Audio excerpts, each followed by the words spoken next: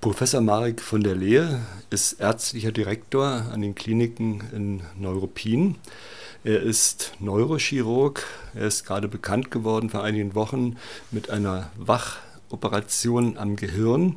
Nur ganz wenige Unikliniken in Deutschland beherrschen das. Eine Handvoll nur und die Ruppiner Kliniken gehören jetzt mit ihm dazu. Er ist gleichzeitig Dozent an der MHB und seine Kurzeinschätzung klingt folgendermaßen. Also mit der, mit der MHB ist es einfach extrem schön, dass die Lehre so unmittelbar ist, dass die Studenten so dicht dran sind, dass man ganz einfach mit denen kommunizieren kann. Äh, auch digital hat es exzellent ge äh, geklappt in den letzten zwei Jahren.